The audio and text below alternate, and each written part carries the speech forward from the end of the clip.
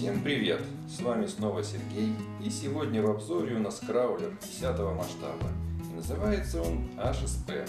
Стоит модель 210 долларов и бонусом будет бесплатная доставочка. Эту модель можно использовать как краулер, либо как трофи модель, установив на него раму и копийный кузов. Или можно построить котлету под типа Райта от Axial.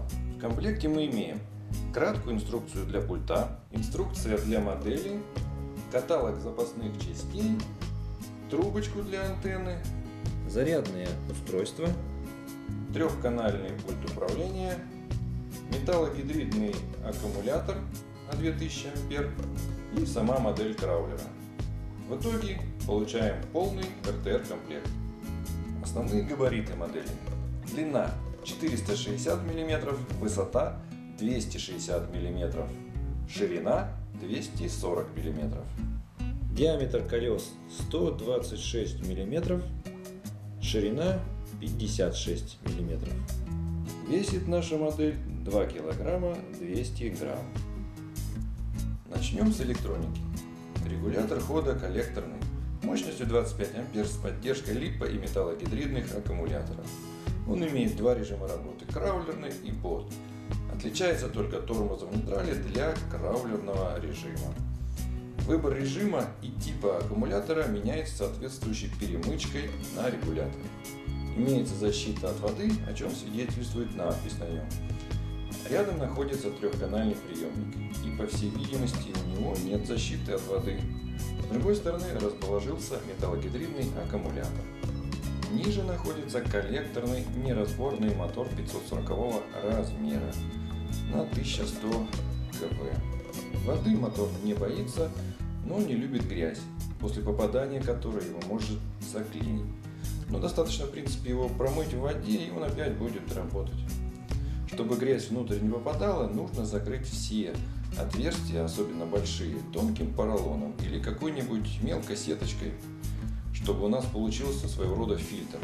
Так мотор будет дышать и туда не будет попадать грязь и крупные фракции песка.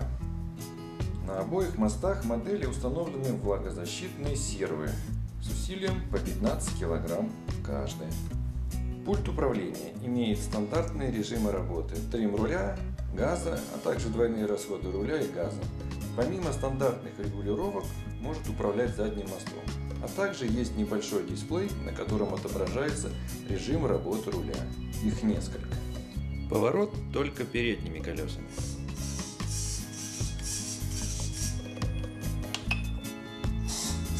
Поворот передними и задними колесами в одну сторону. Поворот передними и задними колесами в разные стороны.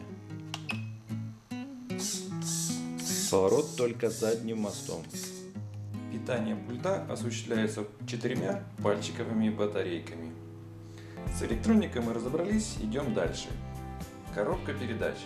Она установлена односкоростная, с передаткой 1 к 48, полностью на подшипниках и выполнена по типу аксиаловской с тремя пластиковыми шестернями внутри, которые нужно еще добавить смазки, потому что в стойке ее там нет. Спур, как вы видите, пластиковый, слипера нет. Пиньон металлический. Карданы у нас тоже пластиковые, а вот крестовины металлические. Внешне кажутся весьма надежными, но насколько надежные, покажет тест-драйв и дальнейшая эксплуатация. Конструкция мостов очень сильно похожа на аксиаловскую. Сами корпуса пластиковые с металлическими шестернями внутри. Шестерни полностью взаимозаменяемые с аксиалом. И смазки в мостах тоже нет, поэтому ее необходимо добавить. Мостам прикреплена защита рулевых тяг. Теперь о шасси. Рама, если ее так можно назвать, сделана из алюминия толщиной около 4 мм. Все тяги тоже алюминиевые, но с пластиковыми наконечниками, в которых стоят стальные шарики. Амортизаторы пластиковые, кроме верхней крышки, которая сделана тоже из алюминия. Амортизаторы, как ни странно, заправлены и текут. Преднатяг у них регулируется проставками. Теперь колеса. Диски разборные, пластиковые, диаметром 2,2 дюйма. Колеса бэдлока тоже пластиковые. дисках есть отверстия для воздуха, поэтому если будете кататься по лужам, их желательно, конечно, заклеить. Сама резина довольно-таки мягкая, на вид кажется весьма качественной и с приличным протектором. Внутри установлен поролон. Теперь кузов.